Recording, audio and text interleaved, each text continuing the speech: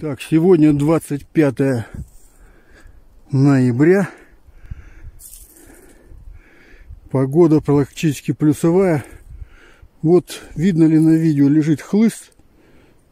Вон от той ветки. И вот он, вот он, вот он, вот он. Снегом сегодня завалило. И вот он в этом месте 60.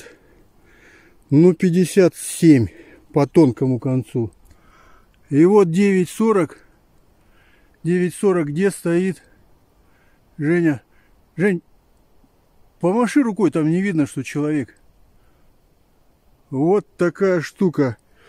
Так что, скорее всего, если 9.40 вырезать, все 7 бревен такие, это кубов 15 будет по-любому 17. По-другому мы не сможем сделать. Делать это будем завтра.